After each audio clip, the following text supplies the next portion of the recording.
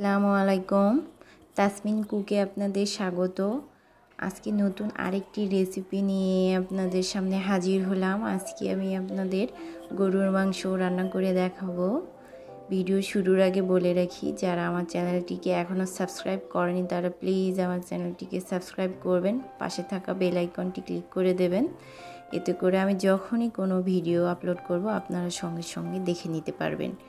এখানে আমি গরুর মাংস ভুনা করার জন্য দেড় কেজি পরিমাণ গরুর মাংস নিয়েছি। মাংসগুলো ছোট ছোট পিস করে কেটে নিয়েছি। আপনারা চাইলে বড়ও রাখতে পারেন। এখানে আমি মাংসগুলো আগে মেরিনেট করে রাখব। তার জন্য আমি দুই চা চামচ লবণ দিয়ে নিচ্ছি।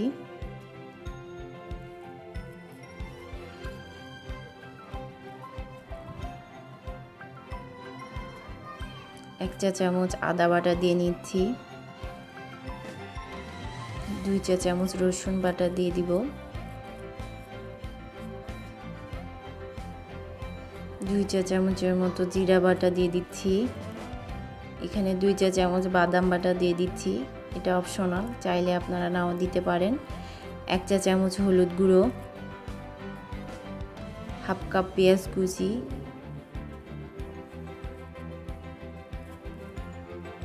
দুই চা চামচের মতো শুকনো মরিচ বাটা। আমি সব সময় শুকনো মরিচ বাটা দিয়ে মাংস রান্না করি। আপনারা চাইলে গুঁড়াও দিতে পারেন। এখানে আমি এক চা চামচের মতো দালচিনি বাটা দিয়ে দিচ্ছি। আপনারা চাইলে গোটাও দিতে পারেন। এখানে আমি হাফ কাপের মতো তেল দিয়ে দিয়ে মেরিনেট করে রাখব। এক ঘণ্টার জন্য।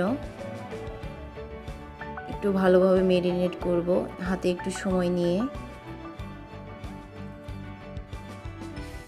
আপনারা চাইলে নাও রাখতে পারেন।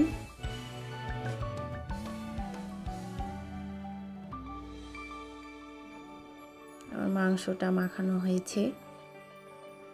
এবার আমি এক ঘণ্টার জন্য রেস্টে রেখে দেবো।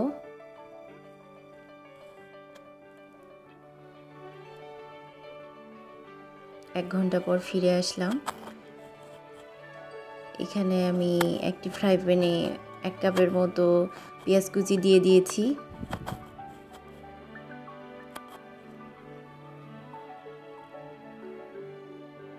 হাফ কাপের মতো তেল দিয়ে নিচ্ছি। পেঁয়াজটা একটু লাল লাল করে ভেজে নেব।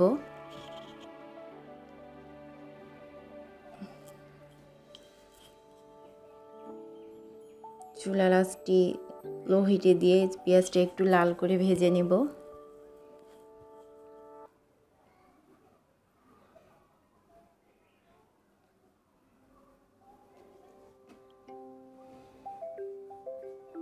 এখানে আমি দুইটা তেজপাতা দিয়ে দিচ্ছি।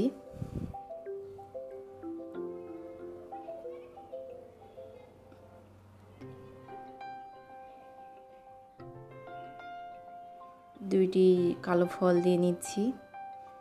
চারটে এলাচ, দুই, তিন চারটে লবঙ্গ, গোলমরিচ দিয়ে নিচ্ছি চার পাঁচটা। আমার পেঁয়াজটি লাল হয়েছে, এবার আমি মেরিনেট করা মাংসগুলো এর মধ্যে দিয়ে দিচ্ছি।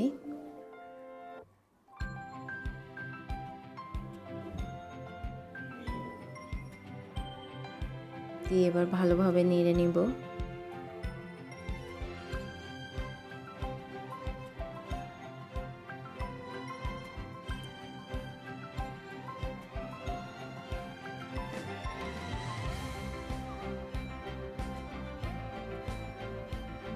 মাংসতে কোনো পরিমাণ পানি দেওয়া যাবে না।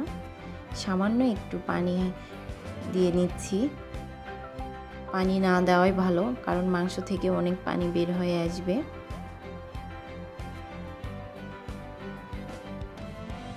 এবার একটা ঢাকনা দিয়ে ঢেকে রাখব পাঁচ মিনিটের জন্য।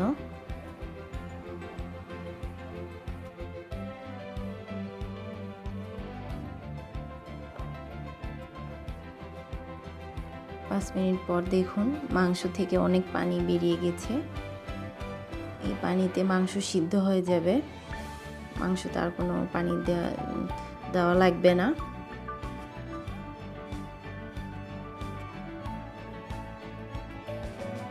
আবারও বিশ মিনিটের জন্য আমি লো হিটে রেখে দেব। বিশ মিনিট পর দেখুন পানি সব শুকিয়ে গিয়েছে। এবারে আমি একটু নেড়ে চেড়ে দেব।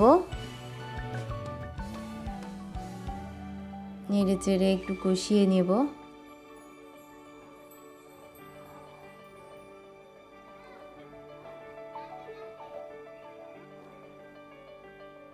আবারও একটু নেড়ে চেড়ে দিচ্ছি। আমার মাংসটা কিন্তু সেদ্ধ হয়ে গিয়েছে। এবার একটু পাঁচ মিনিটের জন্য কষিয়ে নেব, যেন মাংস থেকে সব গন্ধ বের হয়ে যায়। দেখুন মাংসের কালারটা কত সুন্দর এসেছে।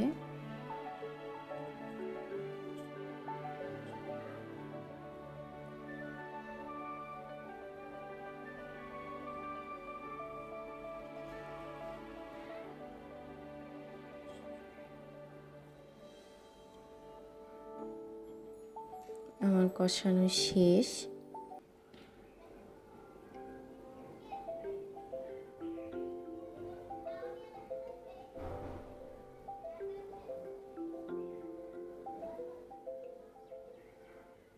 এবার আমি সামান্য পরিমাণ একটু পানি দিয়ে পাঁচ মিনিটের জন্য ঢেকে রাখব।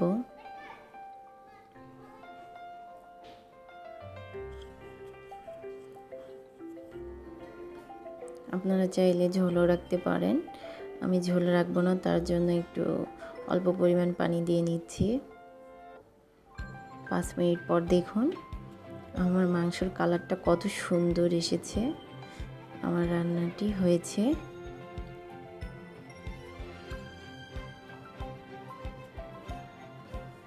দেখুন, মাংসের কালারটা কতটা সুন্দর এসেছে। আপনারা অবশ্যই এভাবে বাসায় রান্না করে দেখতে পারেন। ভিডিওটি দেখে অবশ্যই একটি লাইক দেবেন। আমার জন্য দোয়া করবেন যেন আমি সামনের দিকে এগিয়ে যেতে পারি আর আপনাদের সঙ্গে নতুন রান্নার রেসিপি শেয়ার করতে পারি। সবাই ভালো থাকবেন। আল্লাহ